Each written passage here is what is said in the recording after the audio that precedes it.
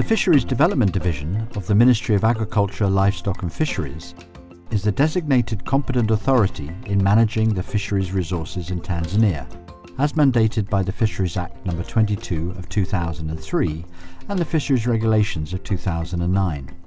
About 4 million people derive their livelihood directly or indirectly from the fisheries resources in the country. The National Fish Quality Control Lab, Nyegezi, ensures that fish and fishery products in Tanzania comply with national and international safety and quality standards. We work with all the stakeholders in the industry, from the small-scale fishermen to the large fish processing plants. Our main objective of our inspection and laboratory services is to provide a guarantee for safety and quality of fish and fishery products intended for human consumption, both national and international. The National Fish Quality Control Laboratory have an international reach and employs the latest technology and methodologies to guarantee the most accurate and reliable results possible.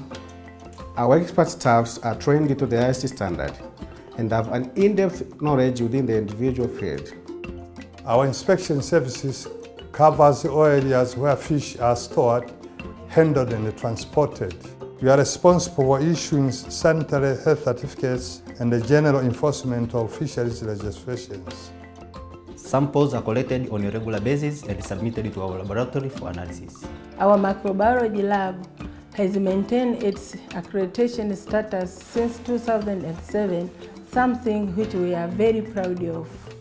Samples are received at a designated area, recorded and immediately transferred to the storage facilities according to their nature. We analyze samples for the requested parameters.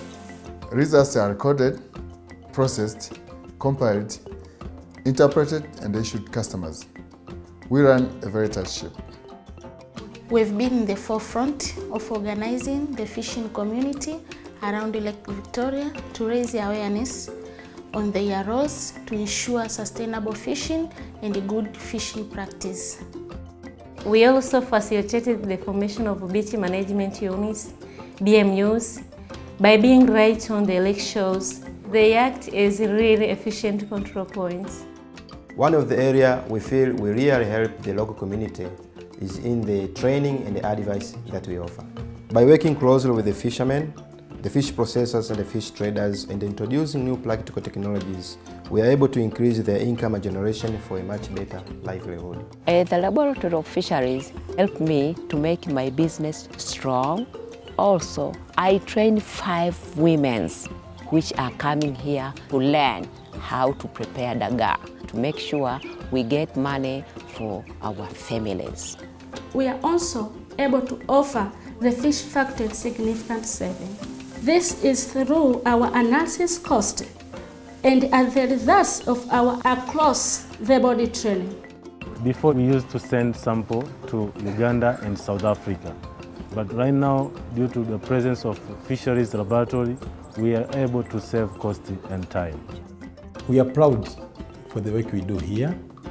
We will continue to keep pushing our standards higher so as to raise the fishing industry for the benefits of our great country as a whole.